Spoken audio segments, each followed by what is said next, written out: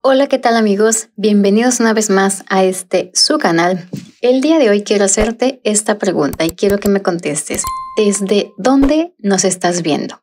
Así como lo escuchas, ¿desde qué parte del mundo nos estás mirando en este momento? ¿Y por qué te pregunto esto? Porque bueno, tiene mucha relación con lo que vamos a ver el día de hoy y que es cómo cambiar el tipo de moneda en la plataforma de Shane. Así como lo escuchas, el día de hoy vamos a hacer este cambio dentro de la plataforma para que todos los costos nos aparezcan en el tipo de moneda que estemos buscando. Por ejemplo, ahorita si yo te muestro, o bueno, si empezamos a navegar aquí eh, en la aplicación, vamos a observar que dice el costo y a un costado dice MXN. ¿sí? Estas son las nomenclaturas para describir al peso mexicano o moneda mexicana, ¿vale? Entonces, como puedes observar, todo lo que yo estoy viendo dice MXN, ¿sí? Si tú quieres que cambie el tipo de moneda para saber el valor real que vas a estar pagando cuando hagas tu pedido, bueno, acompáñame a verlo, quédate conmigo y vamos a avanzar. Bueno, puedes ver que yo estoy en el home, ¿sí? Me voy a ir a la parte que dice yo y créeme, es sumamente sencillo este proceso que vamos a realizar, ¿vale? Vamos a estar aquí dentro de este otro menú que nos abre cuando abrimos la, eh, la plataforma o la parte de yo y nos muestra todo, ya sabes, desde los cupones, los pedidos, todos los servicios que nos ofrece Shane, así como todo lo que ya hemos visto y lo que nos recomienda, de acuerdo a las visualizaciones que hemos hecho.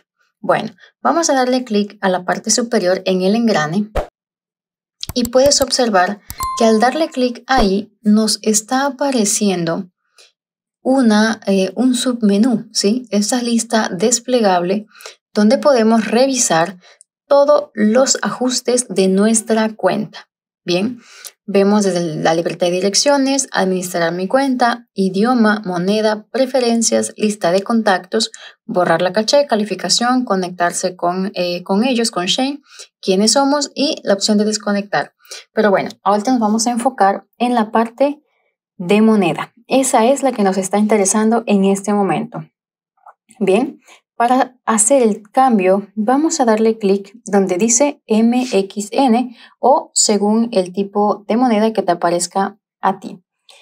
Voy a darle clic y al abrir me aparece este otro submenú.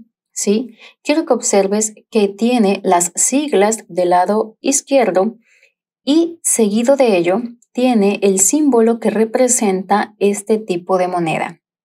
Podemos ver que tenemos desde dólar, euro, una libra esterlina, un real brasileño y en nuestro caso MXN que es el peso mexicano o moneda mexicana.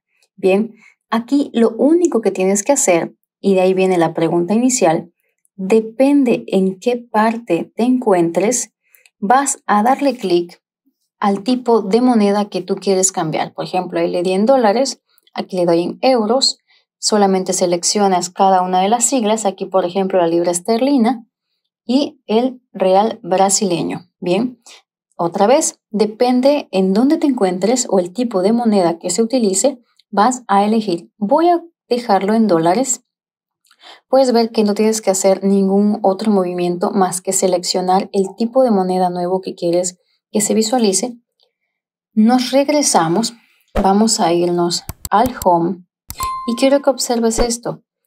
Desde ya, Shane nos está mostrando el costo de cada una de estas prendas, pero ya lo está haciendo en dólares, ¿sí? Así como lo escuchas y así como lo ves. Obsérvalo. Me da 13, 7, 10 y es claro que no son pesos, es dólares, ¿vale?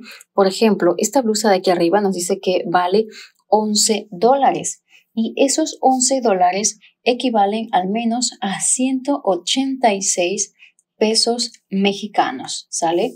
Entonces, por ejemplo, este otro pantalón que aparece aquí a un lado, que nos da el costo de 16 dólares con 93, tiene un costo mexicano de 287.57. Y bueno, para este tema del tipo de moneda, sin duda, eh, sirve muchísimo dependiendo en dónde te encuentres. ¿Por qué?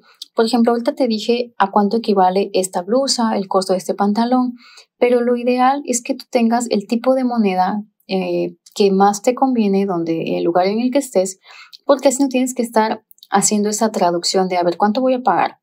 Y si compro todo esto, ¿cuánto va a ser? Bueno, está en dólares, pero en pesos, ¿en cuánto me representa?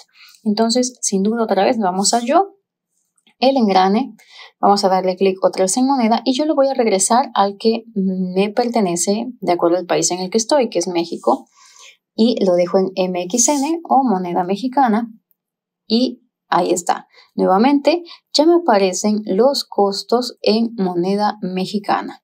Y bueno, si te ha gustado el video del día de hoy, no olvides suscribirte, darle like y recuerda que te estoy esperando en un próximo video. Bye bye.